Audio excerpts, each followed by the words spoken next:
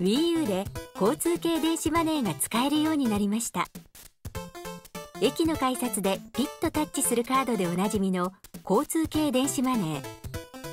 WiiU では Suica、PASMO、ICOCA をはじめとしたご覧のカードが使えます。